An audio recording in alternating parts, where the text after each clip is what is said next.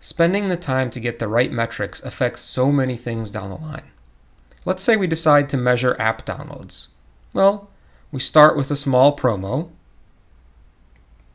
and then we test out another one. Oh, conversions on it are better. Well, we better keep both of them. Well, then we add another promo, and installs went up again. So why not drop in more? Ooh, and things get even better when we make them bigger.